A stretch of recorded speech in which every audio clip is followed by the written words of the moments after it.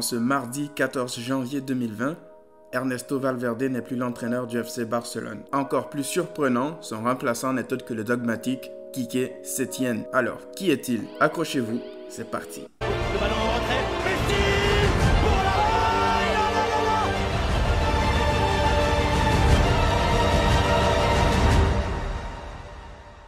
Comme vous pouvez le remarquer, Kike Setien n'a pas un palmarès long comme un bras. On va dire qu'il a même une carrière d'entraîneur et de joueur assez quelconque. Aucun grand club, on va dire top club dans son palmarès, mais ça reste quand même un entraîneur avec des valeurs. Et sur cette vidéo, on va essayer de voir en détail qu'est-ce qu'il pourrait apporter au Barça. Qui est-il vraiment? C'est quoi ses principes, sa philosophie de jeu? On est donc parti avec le premier point.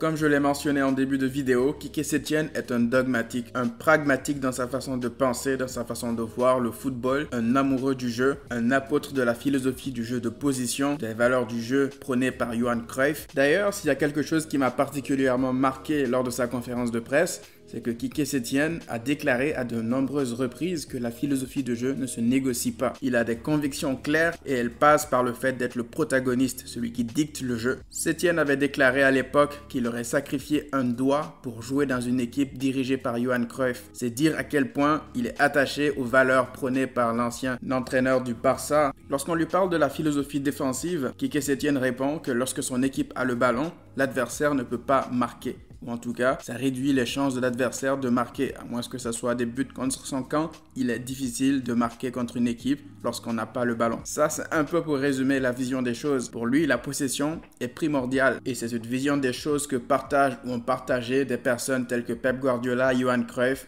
et j'en passe. C'est très important d'avoir une vision des choses positives, de penser par le jeu plutôt que de penser sans le ballon. Je pense que c'est quelque chose d'extrêmement important lorsqu'on dirige le Barça. D'ailleurs, pour parler des équipes dirigées par Kike Setien dans le passé, j'aimerais d'abord parler de Las Palmas, un club qui nous a fait tous rêver à un moment donné en Liga. Ils envoyaient du beau jeu, des combinaisons. Las Palmas a montré de belles choses. Pourtant, ils n'avaient ni Xavi ni Iniesta. Ce qu'ils avaient par contre, c'est un coach qui avait des valeurs de jeu, qui a su faire progresser des joueurs tels que Roque Mesa, Jonathan Vieira, et même Lemos. Je me rappelle à l'époque, nous le Barça, on voulait signer Lemos parce qu'on se disait que c'était un crack, c'était un défenseur incroyable, mais je pense plus que c'est le système qui faisait en sorte que Lemos brillait autant en défense. L'équipe de Las Palmas jouait tellement un beau football qu'ils ont fini par décrocher le prix Puskas du plus beau but de l'année à l'époque. C'était impressionnant, une succession de passes, de combinaisons conclues par deux talonnades acrobatiques dont le buteur n'était nul autre que Kevin Prince Boateng.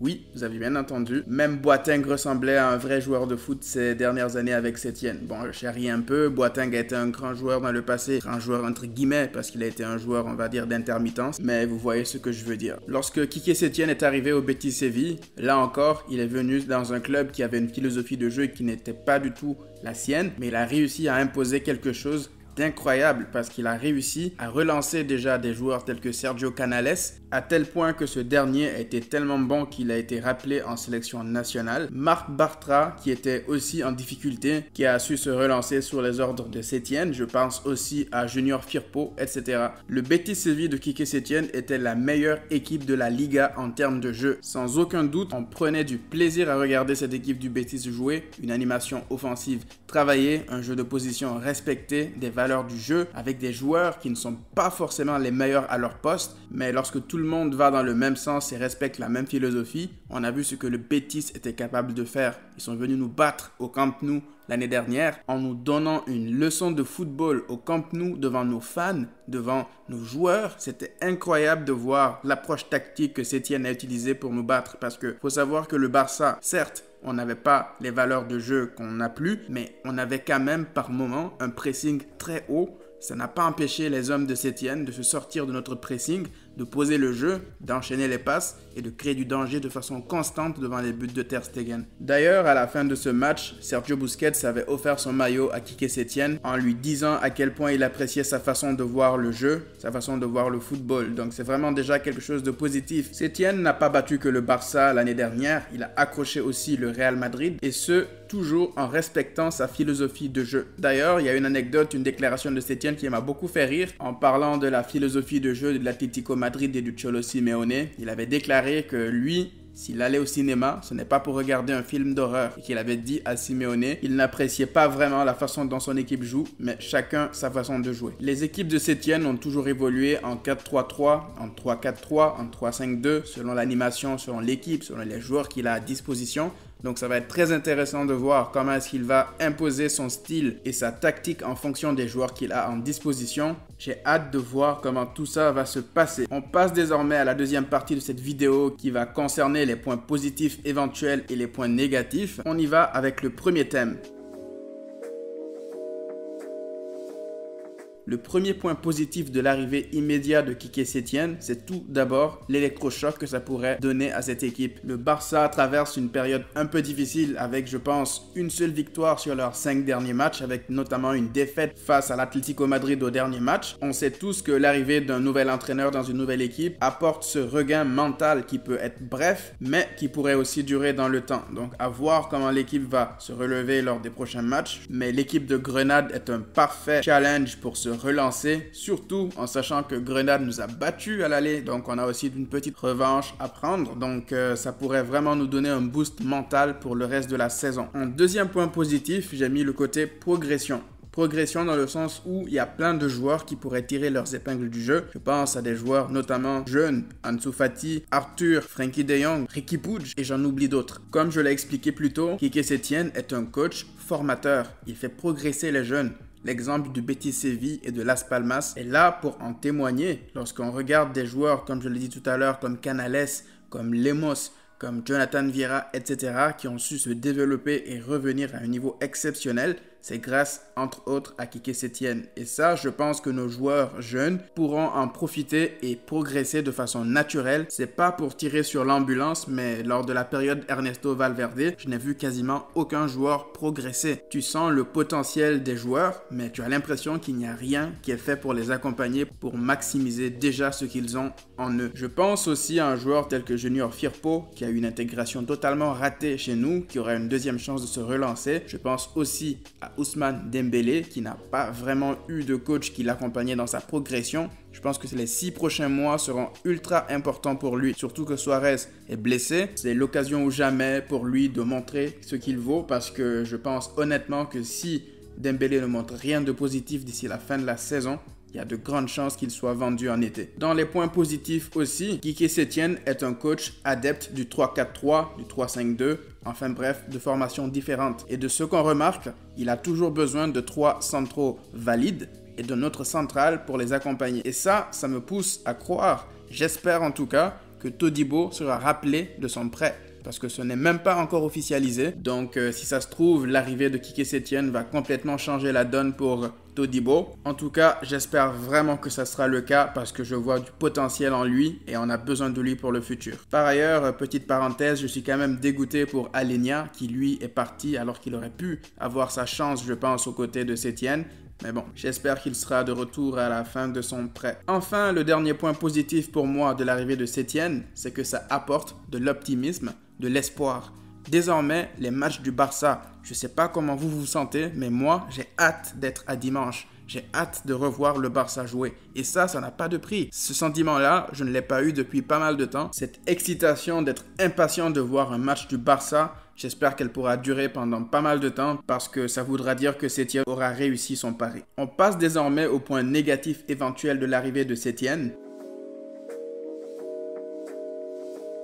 Tout d'abord, son CV son palmarès. Comme vous avez pu le voir en début de vidéo, Sétienne n'est pas un coach qui a gagné grand-chose dans sa carrière. Il n'a pas coaché de top club, il n'a pas l'expérience des joutes européennes. Donc oui, ça serait légitime d'avoir des inquiétudes par rapport à ce qu'il pourrait nous apporter au vu de son maigre palmarès. Par contre, si on fait la comparaison avec Luis Enrique ou même Pep Guardiola, ce ne sont pas des personnes qui avaient gagné eux non plus grand-chose avant de venir au Barça. Donc oui, le palmarès et le CV, c'est important, mais à mon sens, ce qui devrait primer, c'est le style. Kike Setien a des valeurs que le Barça prétend vouloir appliquer pour les prochaines années. Donc euh, pour moi, c'est ça le plus important. Le deuxième point négatif de l'arrivée de Kike Setien au Barça, ce serait de savoir comment est-ce qu'il serait reçu par ce vestiaire. Il y a beaucoup d'inquiétudes. Il y a des personnes qui pensent qu'il n'a pas le bagage, l'influence, le charisme pour euh, s'imposer face à un tel vestiaire. Eh bien moi, je n'y crois pas. Lors de sa conférence de presse, il a déclaré quelque chose qui m'a énormément plu. Il a tout simplement déclaré que sa relation avec Messi, Busquets, etc.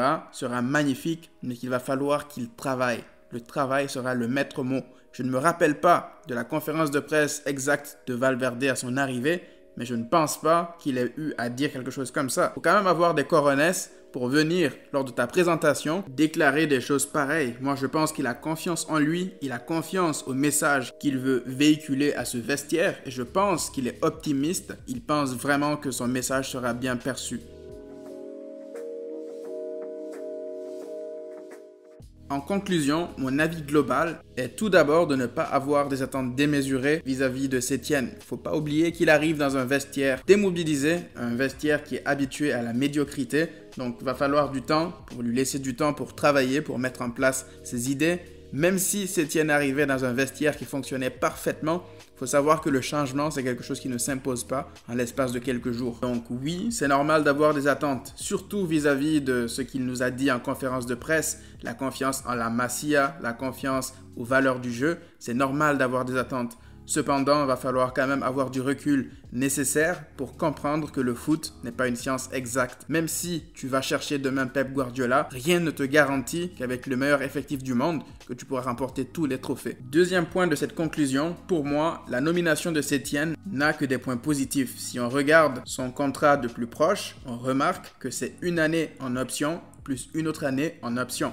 Donc les six mois, ils sont garantis.